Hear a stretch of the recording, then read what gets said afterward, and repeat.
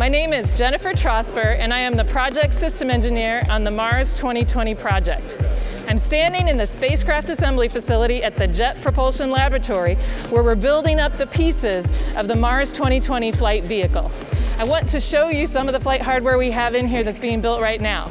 To the far left, you can see the cruise stage. The cruise stage is the part that gets us to Mars.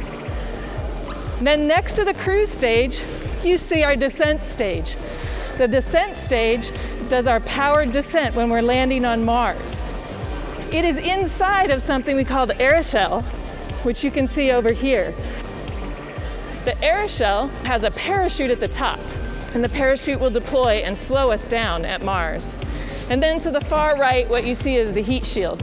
The heat shield is the part of the spacecraft that faces the atmosphere. It ablates a little and slows us down, and then we jettison it.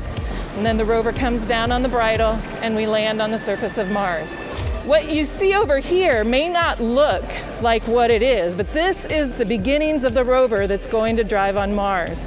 It has the electronics on the inside, but we don't have the wheels on, we don't have the mobility system on, we don't have the belly pan on. All those things are coming in, and over the next several months, we're going to finish the rover.